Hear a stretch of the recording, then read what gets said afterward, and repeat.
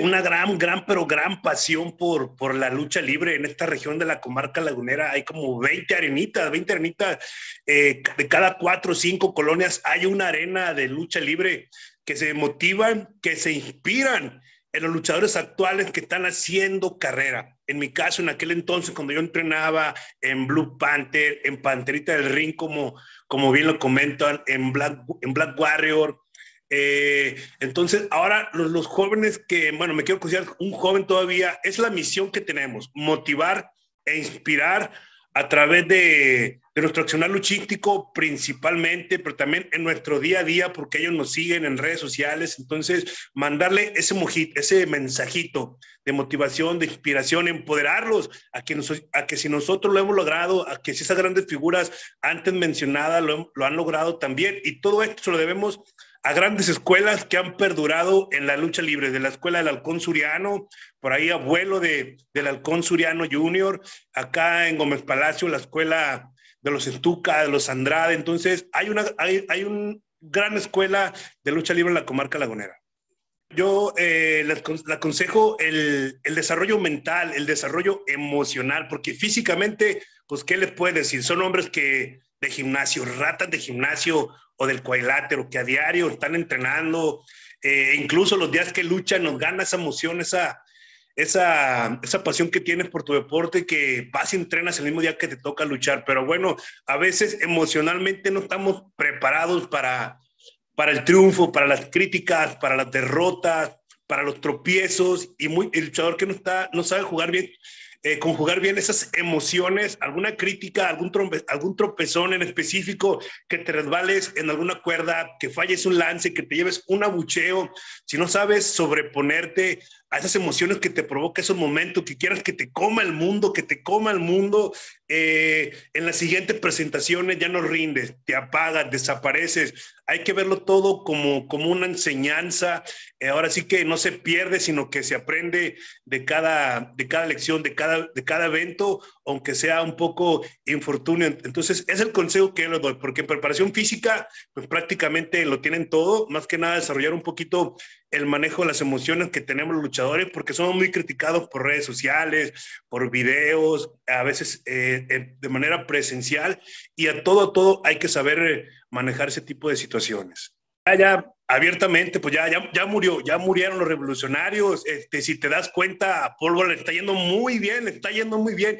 Y no fue algo que decidió él, ni que decidiera yo, ni la empresa. Fue algo que las circunstancias así lo decidieron y vamos a tomarlo con sabiduría. Pólvora actualmente campeón de pareja, un título que yo veo que está disfrutando mucho, que está defendiendo con gran honor, con gran valentía, haciendo gran equipo con Tiger. Me remonta a cuando él y yo nos unimos también, nos llenaba esa, esa armonía, esa química que debe tener todo equipo, ya sea parejas o tercias, tanto en vestidores como arriba del cuadrilátero. Entonces, también me dio la oportunidad también de escalar un poquito arriba en las carteleras del Consejo Mundial de Lucha Libre, estar alternando nuevamente con grandes figuras, eh, los infernales, los guerreros, eh, la peste negra. Entonces, ahora yo estoy buscando, la verdad, mi, mi, prioridad es no tanto formar un nuevo concepto, sino buscar por ahí eh, con una tercia ya establecida para poder aliarme, para poder sumar. Ahorita es el objetivo de Dragón Rojo Junior. Mira, y por lo mismo, ahorita estoy así, mira, así haciendo changuito, porque se viene un gran evento del Consejo Mundial de Lucha Libre, los Reyes del Aire, los Reyes del Aire, un magno evento, un magno evento eh, que no se había podido realizar, creo que no sé si un año o dos por las circunstancias que nosotros ya conocemos. Y yo estoy anhelando, estoy anhelando por ahí estar programado, porque si bien Dragón Rojo Junior no lo conocen como luchador aéreo, aéreo, y yo lo reconozco, pero por supuesto que sé volar, por supuesto que sé volar, y por supuesto que tengo lances. Eh, que puedo realizar este tipo de torneos para encender, encender al aficionado. El que no lo realice es por respetar el estilo rudo, más agresivo, más a ras de lona y por no, no entorpecer eh, la escuela ruda. Pero por supuesto que Dragón Rojo Junior sabe volar, tiene movimiento, sabe volar, sabe surcar los aires y estoy anhelando, anhelando participar en el torneo y dar la gran campanada. Yo, en lo personal, yo ya no lo creo, ¿eh? Yo ya no lo creo, pero yo lo mando manda el aficionado. El aficionado manda que en aquel momento me empujaba, empujaba hacia una esquina diferente por lo que tú dices, los colores, el equipo, situaciones que vi en televisión que me hacían ver un poco bonachón y que me gustó arroparme con ese cariño de la afición probé. Al día de hoy yo no lo creo, tampoco me gustaría, eh, honestamente, no me gustaría, me gustaría ya, ya enfilarme como un, rudo agresivo, un rudo de época. Nunca es tarde, nunca es tarde eh, porque estoy sano. Afortunadamente estoy sano y ya no hay pretextos, pero bueno, nuevamente repito. Eh, yo no mando, yo no mando, el que decide es el aficionado, el que el aficionado decide con su apoyo, con sus aplausos, con su abucheo, con sus entradas, con su boleto, en qué esquina quiere verte. Uno simplemente se, debe subir al cuadrilátero y entregarse al máximo. tengo esa espinita clavada eh, de alternar nuevamente con luchadores ya, ya posicionados, ya con experiencia. Eh, por ejemplo, eh, a mí me encanta, si me dieran a elegir, yo abiertamente lo digo, a mí me encantaría volver a tener una revancha en mi carrera profesional con los guerreros de la Atlántida. Eh, con los guerreros, bueno, con los guerreros ahorita. En, aquel momento, hace, hace algunos años, tuve la oportunidad, fui elegido por último guerrero y por Atlantis, ni más ni menos, los guerreros de Atlántida. Imagínate, imagínate eh, ese gran compromiso y que afortunadamente supe sacar adelante, que supe responder porque fui campeón con, con último guerrero de eh, Mundial de Parejas, Mundial de Parejas, y por ahí tuvimos defensas muy exitosas. Después vino lo que todos conocemos, ya las lesiones que me tuvieron alejado en esa época, ocho meses que regresé muy inseguro, con sobrepeso, y después vino mi salida a los Guerreros de Atlántida de manera justa porque no estaba dando el ancho, no estaba dando el ancho, por esto que te comento, ahora nuevamente un dragón sano, me gustaría nuevamente hacer equipo con los guerreros. Ah, ahí está, por algo, por algo pasa en la lucha libre todas estas situaciones que mueven la baraja, las opciones. Eh, ahí está, se, abre una puerta y se cerró por ahí una ventana o, viceversa. Pues mira, ¿quién iba a pensar esta situación, esta posibilidad?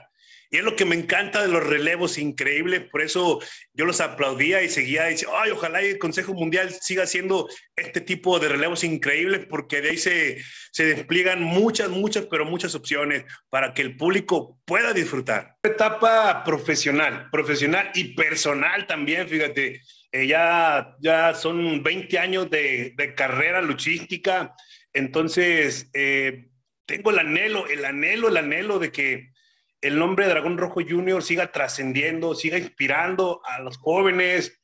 eh, que están soñando con esa oportunidad de también pisar la Arena México, de ganar máscaras, de ganar campeonatos. Y para ello tengo que estar eh, enterote, enterote física y mentalmente como lo estoy en este momento, Karen. Yo tengo, ya lo he dicho repetido en muchas ocasiones, a lo mejor parezco ya disco rayado, pero yo tengo una meta que no he podido cumplir, que en el Consejo Mundial de Lucha Libre que sueño, que, que me quita el sueño esto, eh, poder estelarizar algún cartel de aniversario, un mano a mano, fíjate, es un sueño que tengo, un anhelo que tengo y por ese objetivo es seguirme afianzando y por ahí buscar una rivalidad, una rivalidad que sea atractivo para el aficionado, para prensa, para directivos, para ser considerado como una opción para la fiesta máxima de la lucha libre mexicana, que es el aniversario del Consejo Mundial. Eh, yo lo que trato de transmitir eh, es con, con expresión corporal, con gesticulaciones,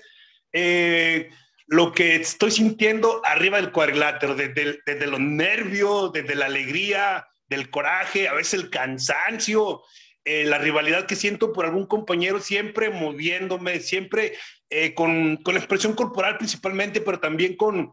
con, con, expresiones pues faciales de mi boca. Por eso para mí es muy importante tener la, la, máscara abierta que me permita expresar lo que, lo que estoy viviendo desde el dolor, desde la alegría, porque cuando me pongo la máscara eh, soy, doy un giro de 180 grados, un luchador extrovertido, hablador, que te puedo bailar, que te puedo cantar, que te puedo volar, y me quito la máscara, soy una persona muy seria, muy tranquila, entonces, a mí me encanta traer la máscara porque me convierte en otra persona, en otra persona y aprovecho esos momentos, esos momentos para ser la persona que a veces quisiera ser cuando no la traigo, esos momentos son arriba del cuadrilátero. Entonces, tal vez es eso lo que me hace conectar con, con el aficionado. Esto nace a partir de descubrir por la situación en que te va presentando la vida, descubre tu propósito de vida, tu propósito de vida. Y como yo lo dije, arriba del cuadrilátero es motivar, inspirar a los nuevos jóvenes, a los nuevos talentos, que vienen esforzándose día a día. Y en esa, en esa parte que tú comentas, en la parte del día a día, Dragón Rojo Junior fuera el cuadrilátero, pues mi propósito de vida también ya me quedó claro, que es motivar e inspirar a las personas eh, aficionados que me siguen en redes sociales, familiares, amigos, círculo de influencia, a mejorar su composición corporal, a adquirir hábitos saludables de vida y esto lo estoy realizando por medio de, de las redes sociales en proyectos de retos 21 días de transformación corporal donde enseñamos a las personas a tener una mejor relación con la comida, a nutrirse mejor, a activar, a, hacer a llevar un estilo de vida activo y saludable. Y ahí pues te puedo comentar que en esta dinámica ya, ya tenemos más de mil personas, más de mil personas que han tenido buenos resultados con testimonios escritos por llamada de persona a persona, que les hemos cambiado su vida para bien. Y sobre todo en esta época que entre más saludable estés, eh, pues mucho mejor por lo que estamos viviendo. Entonces, eh, llegó este descubrimiento, mi propósito de vida, llegó en el momento exacto. Visualizo y me, la verdad, tengo que ser honesto, me motiva más me inspira más ser un coach, pero en esta última etapa que te, que te comento, en esta otra faceta que tengo, seguir ayudando a, a, más personas a mejorar su calidad de vida, su composición corporal, etcétera, por lo que estamos viviendo, que ya no, ya no se va a quitar, ya no se va a quitar, entonces necesitamos personas saludables, líderes que los motiven, que los inspiren y que los enseñen también, que eduquen a los aficionados que nos siguen en redes sociales y a nuestro círculo de influencia para coaches, para entrenadores, pues hay muchos, muchos luchadores, muchos luchadores que le saben, que le saben mucho más que yo, que pueden dar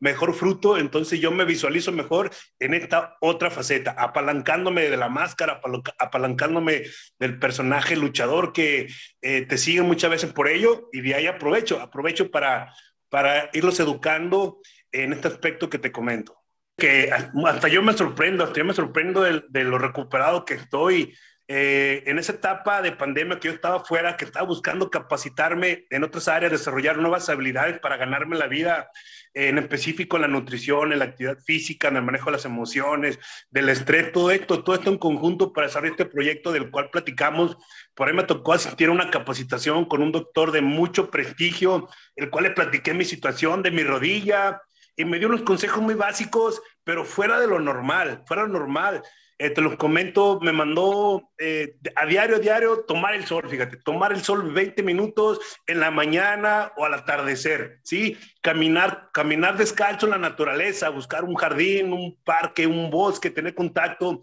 Me mandó a hacer ayunos, ayunos terapéuticos que empezaron con 16 horas, eh, después se convirtieron en ayunos de 24 horas, llegué a ayunar hasta 60 horas, fíjate, hasta 60 horas sin comer, solo tomar agua, tomar café, etcétera. Todo esto con el objetivo de que mi cuerpo entrara en autofagia, así le llamó él, en autofagia, para eliminar todo lo tóxico que tenía, esas células que no estaban funcionando, esas células, dañadas, para que mi cuerpo tuviera libertad de, de desprenderse todo lo malo que no estaba funcionando y se regeneraran nuevas células, nuevos tejidos. Esto conjunto eh, con una nutrición celular que también me mandó. Y pues bueno, en brindarme yo la oportunidad a la par de volver a los entrenamientos, de volver al gimnasio y todo esto en conjunto trae como resultado al Dragón Rojo Junior de hoy. Eh, son varios factores, pero uno, uno, uno, de los factores sin duda alguna es esa vocecita, ¿no? Que algunos le llaman eh, la perra. Yo he escuchado que esa vocecita le llaman Matilde, bueno, esa vocecita que interna eh, que, nos, que le permite, que no nos deja salir de la zona de confort, que el momento que quieres activarte, esa, esa vocecita que te dice, no te canses, quédate acostado, come azúcar, come harina, no le hagas caso al dragón de los entrenamientos, no sigas la dieta. Entonces, por ahí tenemos esa, esa vocecita que nos aconseja, ¿no? No solo, esto, esto te lo comento en, en el ramo que, que yo me estoy dedicando, pero también nos ponemos como profesionistas y a veces no queremos arriesgar de más, dar, dar un, esfuerzo extra, porque algo dentro de nosotros, yo le llamo la vocecita, ¿verdad? Que nos aconseja, que nos quiere ver ahí, pues ahorrando energía como un mecanismo de, subsistencia, de sobrevivir, acumulando grasa. Entonces, pues bueno, una vez que, que te llega una motivación a nivel 10, como yo le llamo, algo que te quita el sueño, algo que es más grande que esa vocecita, es cuando la empiezas a derrotar.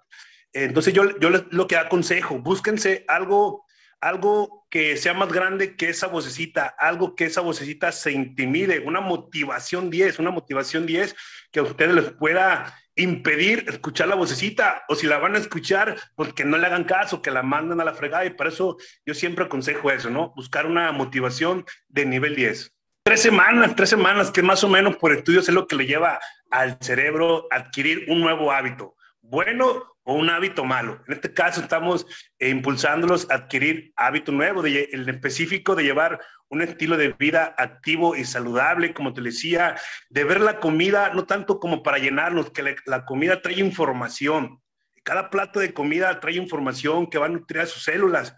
Esa información tiene la capacidad de sanar, de regenerar o hasta enfermar sus órganos, sus tejidos. Entonces, comer con conciencia eh, los alimentos, incorporar la, actividad física no como un castigo por haber comido de más o por haber comido por ahí un chocolate, eh, un frito, algo, sino ver el ejercicio como una forma, se escucha un poco romántico, pero de darle amor al cuerpo, agradecimiento, agradecimiento, porque te permite moverte, desplazarte a tu trabajo, jugar con tus hijos, entrenar lucha libre, al gimnasio, practicar fútbol. Entonces vamos, vamos uniendo eso, lo, emocional, lo emocional, lo mental y lo físico en estos retos 21 días. lo, que, lo que yo he comprobado, por ejemplo, ya que mencionaste un ejemplo de un chocolatito, entonces todo eso se puede acumular como, como grasa, ¿no? Por ejemplo, entonces tenemos como también, eh, la grasa es un mecanismo de, de sobrevivencia, de existencia también, porque hay dos niveles de energía que el cuerpo requiere,